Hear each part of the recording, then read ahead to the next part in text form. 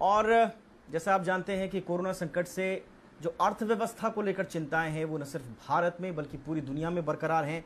IMF world bank ने जो growth का अनुमान जताया है, वो नेगेटिव से एक या दो परसेंट तक जताया है। जबकि इसका इकोनॉमी पर असर ये भी कहा जा रहा है कि एक से दो साल तक, शॉर्ट टर्म नहीं होगा, बल्कि एक से दो साल तक इकोनॉमी पर असर रह सकता है। ऐसे में भारत की इकोनॉमी पर कोरोना का क्या असर हो सकता है? कोरोना के बाद इकोनॉमी को पटरी पर लाने के लिए क्या क्या करना होगा? अब तक जो कदम उठाए गए हैं, क्या वो पर्याप्त हैं? इस पर chief economic adviser Krishnamurthy Subramanian ने बात की। जी बिज़नेस की एग्जीक्यूटिव एडिटर स्वाति खंडेलवाल से, आइए देखिए।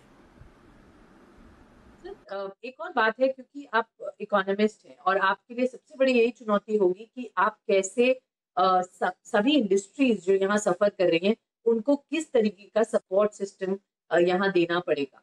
ये एक बड़ा सवाल है, जिसकी बात सारी कॉर्पोरेट कर रहे हैं। पूरे ऑल ओवर द वर्ल्ड सारी गवर्नमेंट्स ये डिसीज़न ले रही हैं। एक स्टिमुलस पैकेज के रूप में जो एक इस वक्त ज़रूरत है बहुत उम्मीद लगाई जा रही है। लगातार बात हो रही है कि पैकेज आएगा। फाइनेंस मिनिस्टर ने खुद बोला है it is in the works but क्या लगता है ज़रूरी इस वक्त होगा? बिकॉज़ आप अगर देखने जाए तो हर इंडस्ट्री को इस वक्त ज़रूरत है पैसे की। तो आप वो कैसे प्रायोरिटाइज करेंगे?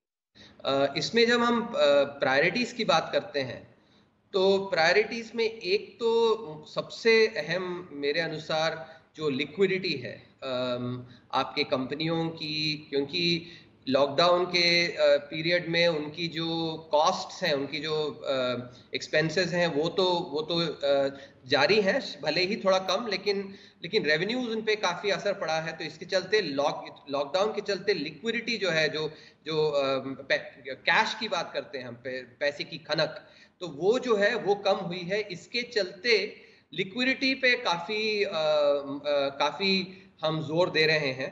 एक बात और, क्योंकि बाकी देशों के मुकाबले में हम जो इस कोविड, ये जो कोविड का जो एपिसोड है, इसमें हम गुजर रहे हैं।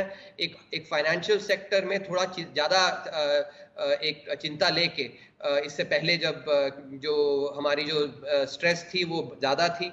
तो इसके चलते जो है, हमें फाइनेंशियल सेक्टर पे बहुत ध्यान देना है और इसीलिए जो रिज़र्व बैंक ने जो कदम उठाए हैं, ये काफ़ी अहम है और इसके इसके इस ये ये ये कदम जो लिए गए हैं, काफ़ी अहम है। इसके चलते जो लिक्विडिटी दे, जो हम दे सकते हैं, उस पर उस पर भी काफ़ी असर पड़ेगा। दूसरी बात जो वलरेबल सेक्शन हैं, जिनके लिए 24 मार्च को पैकेज अनाउंस की गई थी कैश कैश ट्रांसफर्स तो ये भी, इस पर भी काफ़ी इम्पोर्टेंट कदम हम एक्चुअली सोच रहे हैं।